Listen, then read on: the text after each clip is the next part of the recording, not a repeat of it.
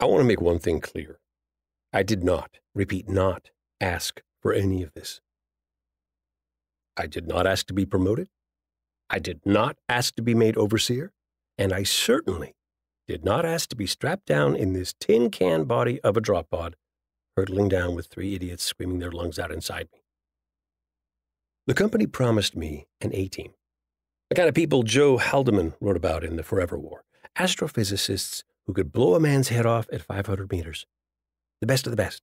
You know, the master chiefs and all that. The kind of people who go in, get shit done, leave a nice calling card, and live to strike a heroic pose.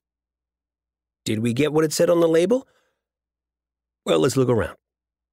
Exhibit A Simon Joosten. Simon is my geologist. He's 35 ish, biological time, and looks like someone stuck eyeballs on a mop.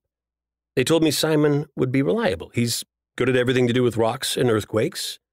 He's scored well in the shooting sims. He can do CPR and basic medical aid, and looks like your average nerd trying too hard to be cool. He'll make a fine crew member. But here's what they didn't tell me Simon grew up on the brutal world of old New York. He was sold to a corporation as a child. They stuck a needle into the center of his brainstem and jacked him into a virtual fantasy world so they could broadcast his feed as reality TV. His entire childhood was spent being beaten up by gangs and digging holes in fake ground so nobody could hear him crying in the fake darkness. Except for the audience, of course. We must have had a hoot, the sick bastards. Old New York had its times. After the Mercator Rissik Rebellion, the UN jumped in and did a number on them, including yanking all those poor souls out of reality TV and setting them free. For some reason, I don't think this man ever really recovered. I'm not saying Simon is a bad person.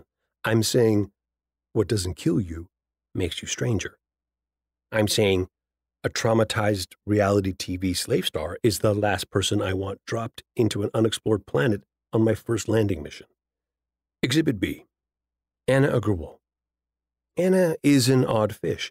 She's got 20 years on Simon, but unlike Simon, Anna grew up with everything she ever wanted. I've checked her degree transcripts. They're through the roof. High social skills.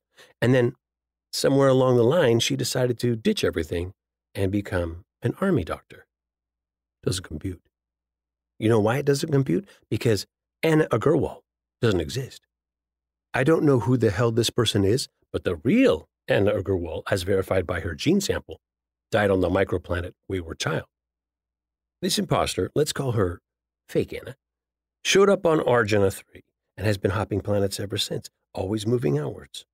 Deus Olympus, Boat murdered, Karthika Highway. This kind of stuff is real easy when delays between databases are measured in light years. Fake Anna picked up a gunshot wound somewhere on the way, left leg, and now she's on my mission on the very edge of human space. Right now, she's cradling Simon as he screams, which, excuse me, Anna, is the stupidest fucking thing you can do while strapped inside a tin can plummeting through the atmosphere. Damn it, Anna, go back to your seat. Exhibit C Milo Kalik. Finally, a sane choice. Milo, 37, is an inventor. He can shoot, yes, but also make stuff and argue Machiavelli and Chanakya by the fireside, master's degree in engineering from the Ort Academy. There are some irregularities. He's been demoted three times so far, each time by a woman commander. That's odd. And he's spent a weird amount of time in cryosleep. Almost three centuries. But right now, I don't have much to go on, so he's my golden boy. Look at him smile. He's enjoying this. He's enjoying being alive after all that time in the freezer. Don't let me down, Milo. Simon pukes all over him, all over me. Oh, gods. This isn't an A team. This is a D team with a paint job. The real heroes are probably out somewhere in the inner rim discovering alien civilizations while looking heroic in their armor. Me, I get the backwater planet and the salvage job. Go dig up an old crash site, they said. It'll be fun, they said.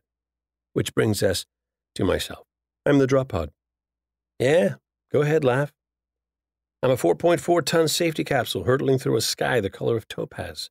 Inside, I'm a state of the art computer equipped with weapons, seed stock, building materials, people, and of course, myself to instruct the baselines how to do their job. In turn, the theory goes the humans ask the right questions, make the right pseudo random moves, nudge your thinking in all the right ways, ways that a machine can't.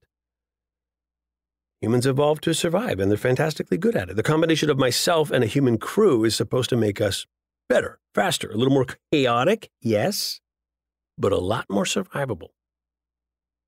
This is what happens when PCS thinks you're smart enough to be an overseer. You end up knee deep in theory with Simon's puke all over your instrument panels. Oh, for fuck's sake, Anna, strap yourself in. It's going to be a bumpy ride.